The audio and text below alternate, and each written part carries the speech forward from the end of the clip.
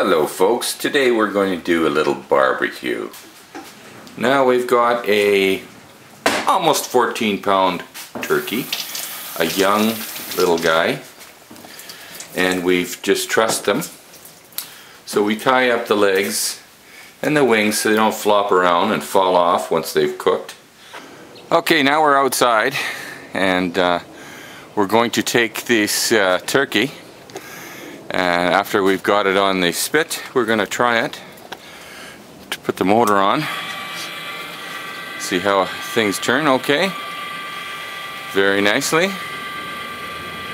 And uh, if you look inside I've got a tray of water.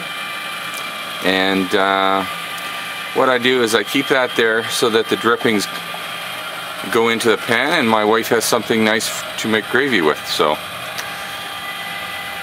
There we go Next we'll put the tinfoil on. Okay, now you can see that we have the uh, turkey wrapped in tinfoil and uh, our next step is to basically close up the barbecue and uh, put some heat in there. But uh, firstly we will just fire it up, get some, get a little bit of uh, heat happening here. There we go that started up really nicely. So, what we'll do now is we'll just lower this and uh, we're going to get the heat on which is right now and we're going to turn these down somewhat because we don't want the bird too hot. We'll gradually get our heat up. Right now we want to try and get our heat up around 3 50 in that neighborhood and uh, we'll leave it uh, there for about uh, an hour to an hour and a half. I'll just check it and make sure that everything's good and uh, we'll just take it from there. Thank you. Okay ladies and gentlemen, as you can see our temperature is right at 350 and uh, we've played around with the, the, the uh, knobs a little bit there so we got the temperature right where we need it.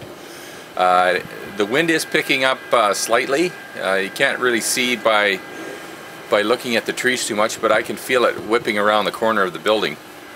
And uh, so we just want to make sure that we don't go a whole lot higher than 350.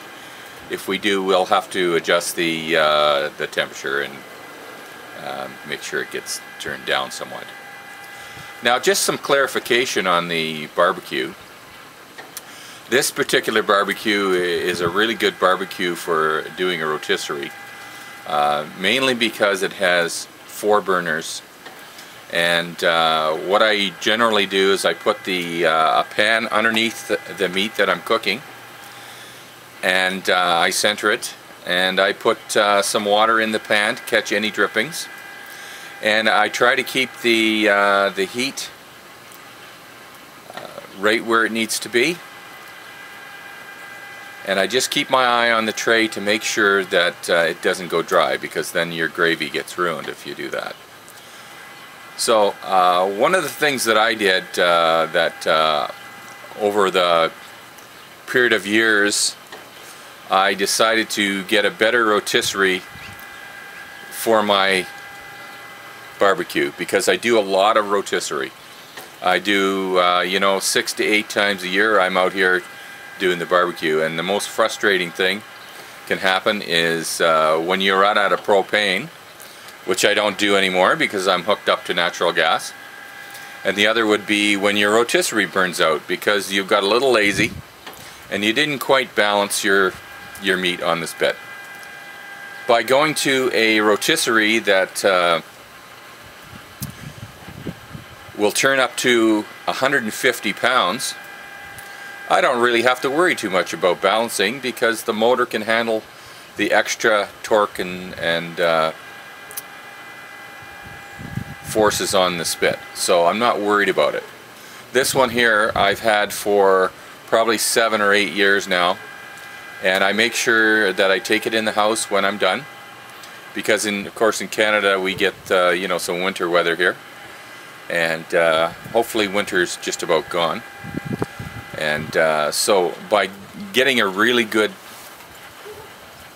motor to turn the barbecue. You can see, I'll just bring it over here and I'll show you this uh, motor. That's a really heavy duty motor.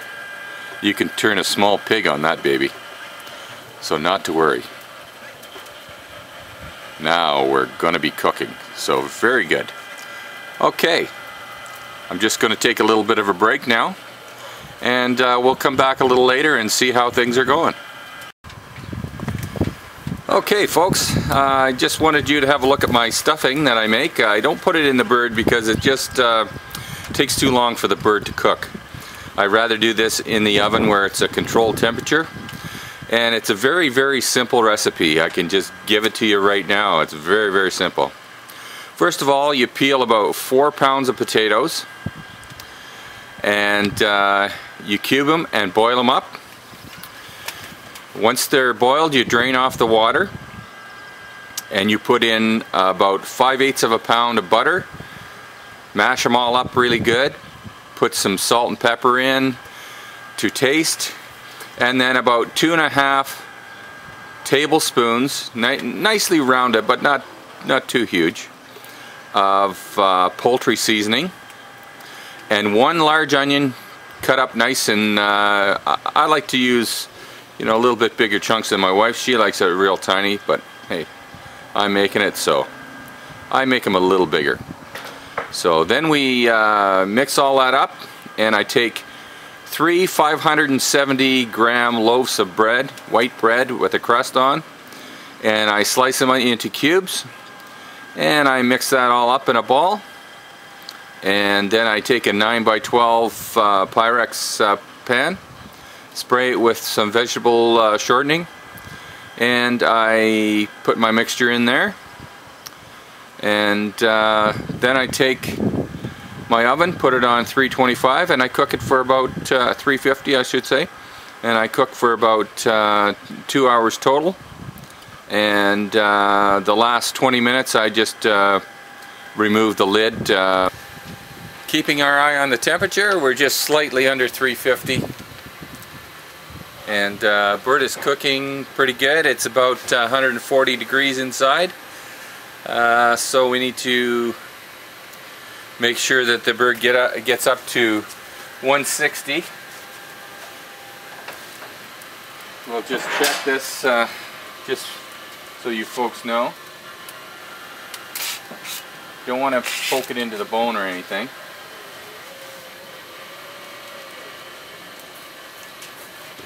And we are just going to check the temperature. No, I don't have it in the right spot. Let's try that.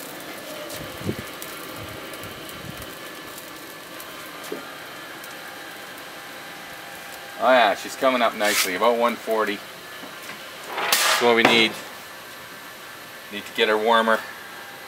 So uh, we'll just leave it for probably another 45 minutes and uh, we'll come back and uh, probably take the tinfoil off then. Okay, there we are. Uh, we're going to take this string off now. Just so that the turkey can get some browning up.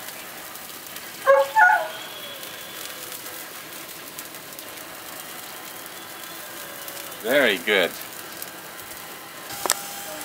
Like okay, cook away there, turkey. Just like we're going to be into that turkey pretty soon. Oh yeah.